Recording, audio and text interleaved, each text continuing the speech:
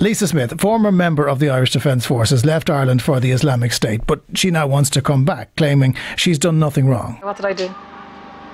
I just joined the Islamic State and now I've become a monster.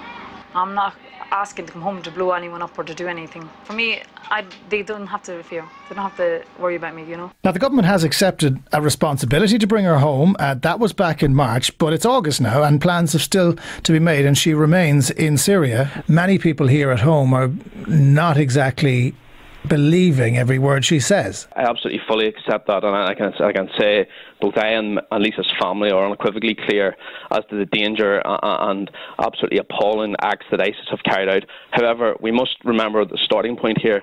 The starting point here is that this murderous organisation uh, tend, tendencies and modus operandi is to ensure that they radicalise foreign women and bring them to the Islamic State. The reality is, and we cannot forget, that, the, that there is uh, uh, at the heart of this a child who is absolutely innocent of any crime. There is a woman who has been radicalised uh, in some shape or was form by is she, vic- is she a victim of ISIS rather than somebody who was perpetrating and uh, and spreading their message?